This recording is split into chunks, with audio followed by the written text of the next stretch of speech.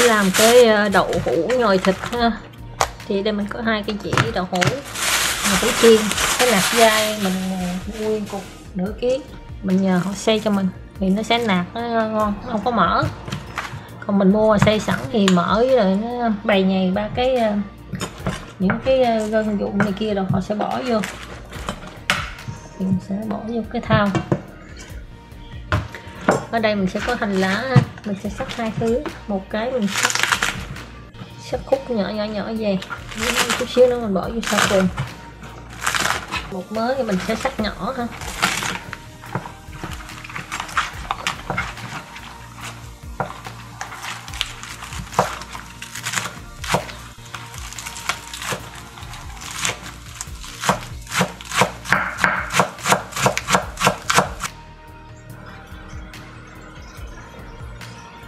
Như mình ướp cho cái tô thịt của mình thôi. Đây mình có một cái củ hành tím á, cũng sắc lụ nhỏ luôn.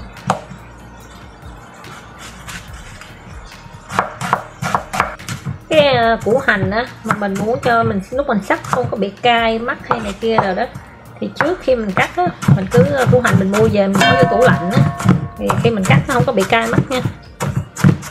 Đó là ai cũng sợ cắt hành lắm tại vì à, nó rất là cay. Mình ướp nửa củ vô cái thịt ha, còn nửa củ mình sẽ xào cái sốt. Mình sẽ có một trái cà chua ha, mình sẽ sắc hộp lựu.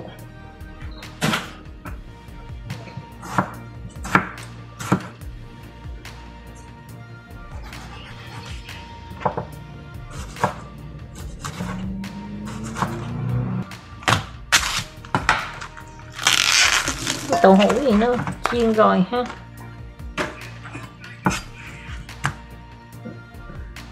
Mình có thể làm hai bước. Một là mình móc cái ruột nó ra, rồi à, mình nhồi vô. Hai là mình miếng tàu hũ mà nếu mà nó lấy mỏng quá, mình sẽ cắt đôi nó ra như vậy. Mình sẽ nhồi thịt vô giữa.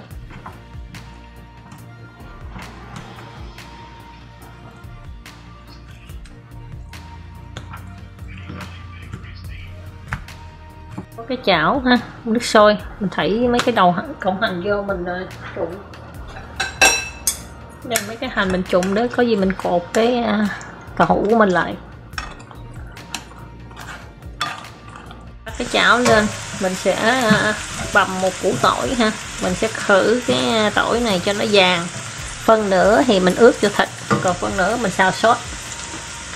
Cái tỏi trong chảo còn chừa trong này ha cho miếng dầu ăn còn với phi vàng rồi ha, mình sẽ cho vào đây một muỗng canh ở phi. Mình sẽ cho vô đây một muỗng canh, dầu hào vài giọt dầu mè, tiêu. Tiêu thì mình thích ăn cay nhiều, mình thích tiêu mình cho nhiều. Không có thì mình chỉ cho chút xíu thôi cho nó có cái vị thơm thơm của tiêu ha cho vô đây một muỗng canh bột bắp hay là bột năng hay là potato flour hay là bột khoai tây. Thịt, thịt của mình nó dẻ nó dính nữa nha. Ở đây mình sẽ có một cái nấm mèo ha. Mình đang ngâm. Chút xíu nữa mình rửa sạch xong mình sẽ bầm nhuyễn mình bỏ vô luôn. Mình sẽ có cái bột nem gà ha. Mình sẽ cho vô đây một muỗng cà phê bột nem gà.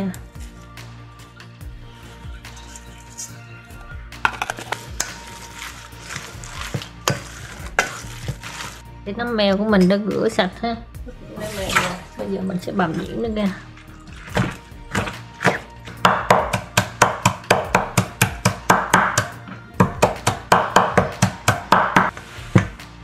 Rồi, xong.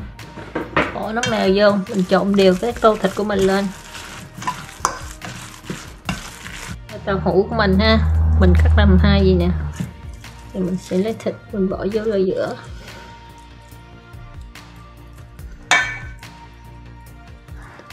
Ừ, ớt cái thịt cái tàu hũ kia lại.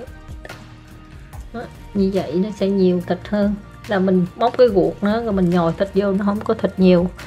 Rồi mình làm ở nhà ăn á, thì thịt nhiều một chút xíu. Còn người ta làm người ta bán á, thì người ta chỉ khoét cái ruột chút xíu khoét cái tàu hũ chút xíu.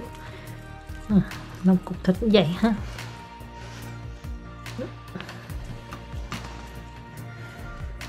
Khi mình đã nhồi xong hết tất cả cái thịt vô cái à, hũ của mình ha thì nó sẽ là vậy nha.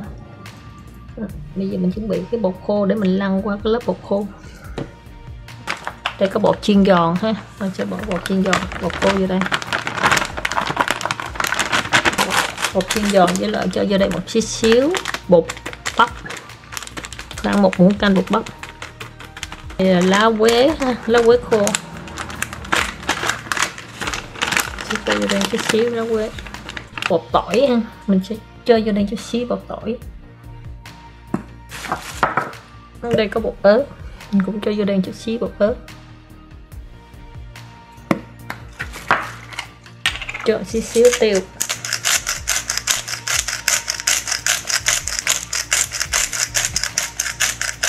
Trộn đều lên. Mình sẽ nhúng cái à, cái thịt của mình tàu hũ của mình qua cái bột khô. Chỉ nhúng bốn góc bên này thôi, không cần nhúng hai cái bề mặt ha, để cho cái thịt của mình nó dính lại lại với nhau. Để qua đây. Mình sẽ bỏ qua cái chảo dầu nóng mình chiên.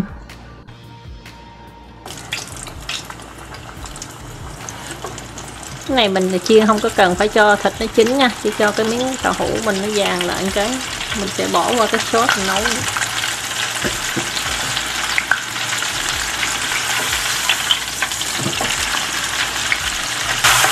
Rồi mình chiên á nó vàng đều vậy là được rồi nha. Vớt ra rồi mình chiên hết cái phần còn lại. À, cái đậu hũ mình chiên sơ cái là cái hành ờ, lá hồi nãy á. Mình có luộc sơ nó vậy rồi nữa ha rồi mình sẽ để vô để nước cà hũ mình vô, mình gối nó lại. Nếu có có hành thì gói không có thì không sao hết nha. Mình cột hành này kia rồi, cho nó nhìn đẹp với là nó gọn, nó không có bị bung ra ha. Thì mình có đủ hành. Giờ mình bỏ qua sốt mình sẽ cho vô đây hai muỗng canh sốt cà chua.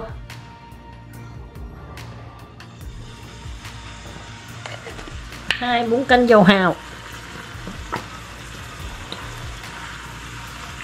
Hai muỗng canh nước tương.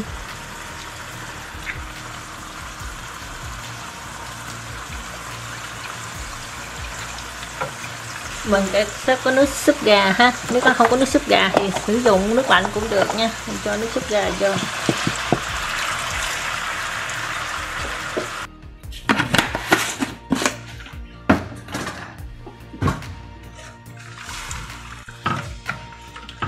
Cái dừa ăn chưa? Ừ, rất là dừa ăn rồi. Giờ cái sốt của mình nè ha. Mình sẽ cho vô đây miếng xíu nước dừa. Cho nó nóng lên chút xíu nước dừa tươi ha. Mình không có muốn sử dụng nước lạnh nha tại vì nước dừa cho nó ngon. Rồi giờ mình mới cho mấy cái cục đậu hũ mình vô. Cái này tại mình thiếu hành lá cho nên mình không cột hết toàn bộ. Mình chỉ còn cái cục mình chưa có cột cho đậu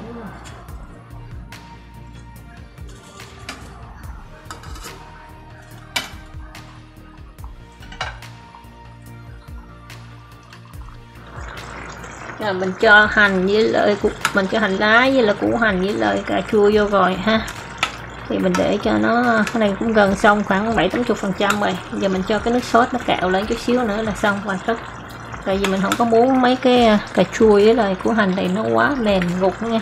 Tại vì ăn nó, cái sốt á, nó còn có cái à, củ hành nó giòn giòn với lại cái cà chua nó nhỏ nhỏ nhỏ nhỏ. Ăn nó ngon mà nó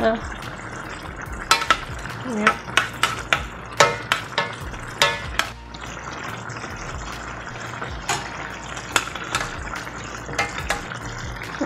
bởi vì cái này là thịt bằm ha cho nên nó cũng rất là mau. Chín bây giờ tàu hũ thì mình cũng đã có chiên sơ qua rồi.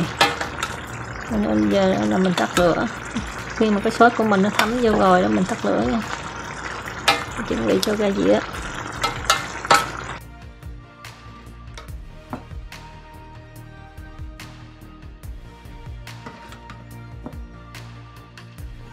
Ừ, ăn cơm rất là ngon. Xin chúc cả nhà một buổi cơm chiều rất là ngon à, hẹn gặp lại video sau Bởi vì à, mình làm mấy cái món ăn á mình chia sẻ đó. Là khi mình đi làm về cho nên mình tranh thủ mình nấu mình nấu để cho gia đình ăn. Thì à, cũng tối rồi cho nên mình à, làm nhanh để mà chia sẻ với các bạn luôn. Và kịp cho gia đình ăn cơm chiều. Tại ở đất nước này thì đi làm về trễ mình cũng phải nấu cơm cho nên mỗi lần mình nấu xong mình sẽ chia sẻ lại cái món mình nấu cho các bạn. Thì mong là các bạn sẽ nấu được món cơm để cho gia đình ăn buổi chiều. Xin chào cả nhà, hẹn gặp lại ở video sau.